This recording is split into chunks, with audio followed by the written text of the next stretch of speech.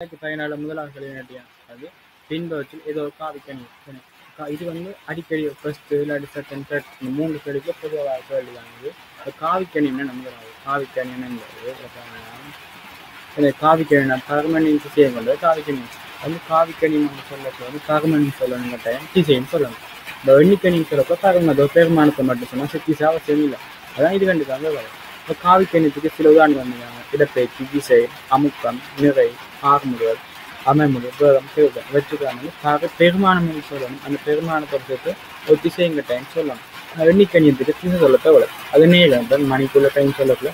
வெறும் அதுக்கு மூன்று மணினா மூன்று மணி பெருமானம் மாற்ற சொல்லுங்க மூன்று மணி கிழக்கு திசை மேற்கு திசை திசை சொல்லுவாங்க அப்போ எண்ணிக்கணி வந்து திசை அவசியம் இல்லாது. சரி. இந்த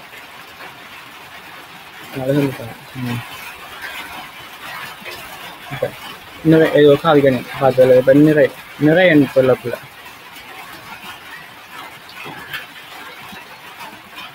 இப்போ நிறைன்னு சொல்லக்குள்ள நிறை நான் எத்தனை எம்மி அதாவது விசை நிறையன்றது விசை இப்போ விசை சொல்லக்குள்ள சாயங்காலம் இப்படி பத்து ஒன்று இந்தியாவில் இருபது நியூட்டன் இந்தியாவில் பத்து நியூட்டன் விசையோட இழுக்கும் பத்து நியூட்டன் விசையோட இழுக்கணும்னா இப்போ விலை விசைங்கிற இப்போ இந்த அளவுக்கு அப்போ திசை காட்டி தான் விலை பத்து අප නිර அப்போ நிறைக்கு ඔපේ அவசியம் நான் பெருமான அவசியம் நிறைய பேர் என்ன பண்ணிருந்தாங்க இப்போ நேரம் வந்து சொன்ன மாதிரி. நேரத்துக்கு வந்துட்டு மணிக்குள்ள டைம் ஆட்டாலும் மூன்று மணி.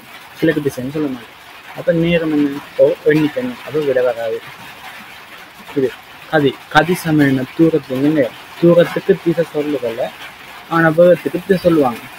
அந்த கதி வந்து என்ன கனிமோ எண்ணிக்கணியம் இந்த கதி எண்ணிக்கணி மயக்கத்துக்கு போகிற காரணம் என்ன தூரம் வர இந்த தூரம் என்ன கனிமோ எண்ணிக்கணியம் அது விட என்ன நிறைதான் ஓ காவிக்கணியம் இதை நோக்கி நல்லா